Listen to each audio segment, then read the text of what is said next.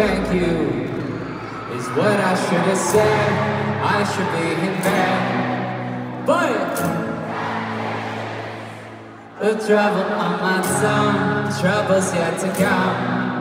Like that for me, that for me, that for me. And I gave it so easily, and no thank you.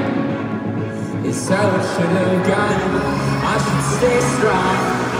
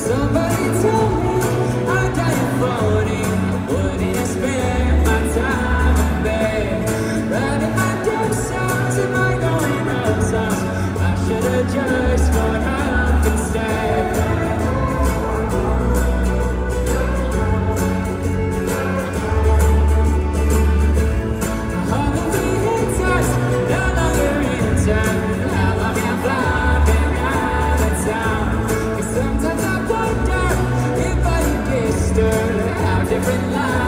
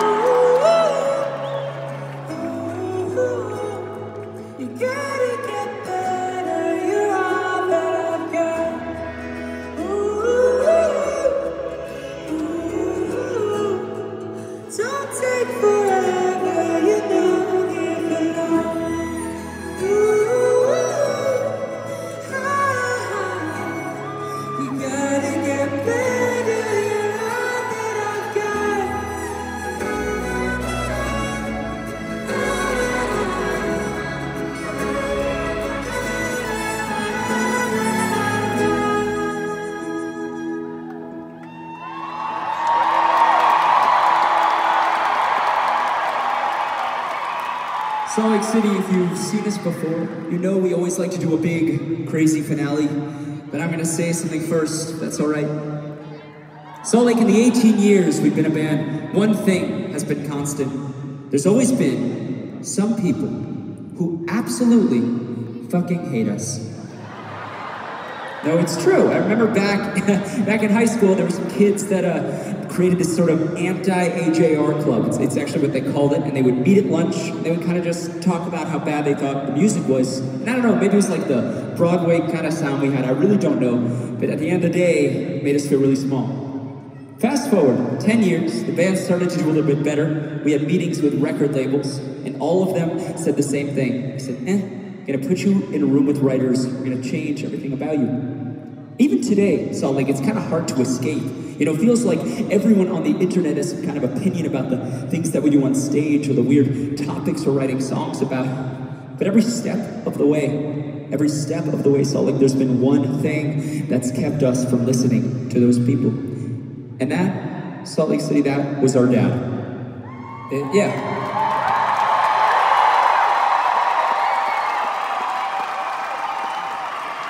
Even up until last year, it was our dad who said, keep going. Keep going, and eventually, one day, you will find some people who see the world the same way you do.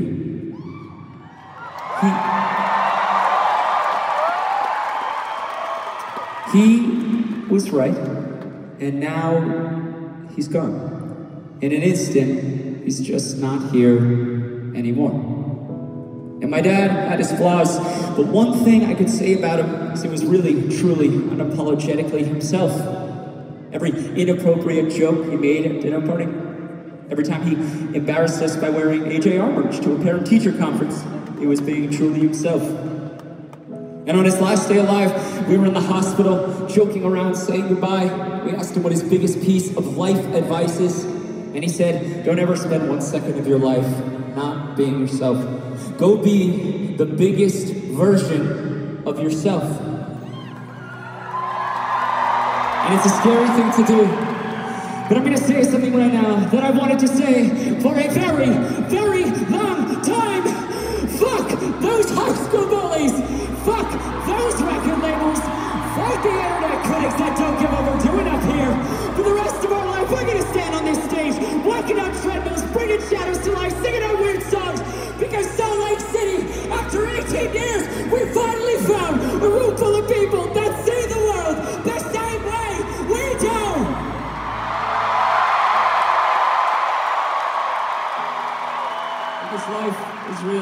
Really, short, guys. It's way too short to not be the biggest version of yourself. I I was me, whoever that is. I could just be and not give a shit. Hey, I'll be whatever makes you fan. Cause I don't know who the hell I am. I think it's too late to figure this out. If I could be me, I would have been in by now. Maybe I'm a stone.